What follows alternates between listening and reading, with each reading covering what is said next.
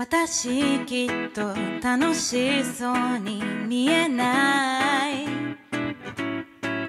うまく笑えていないおはよう。うまく声にならないあのね。私いつか消えてしまうこのままじゃ。